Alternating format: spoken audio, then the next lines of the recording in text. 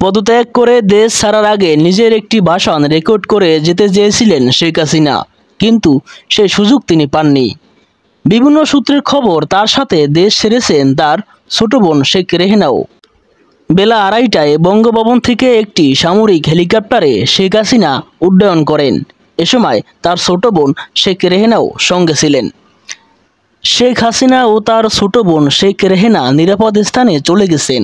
এদিকে দুইবার ভাষণের সময় পরিবর্তন করার পর বিকেল চারটায় জাতির উদ্দেশ্যে ভাষণ দেবার কথা রয়েছে সেনাপ্রধানের। এদিকে বেলা তিনটার পর গণভবনে ঢুকে পড়ে ছাত্র জনতার বিরাট একটা অংশ।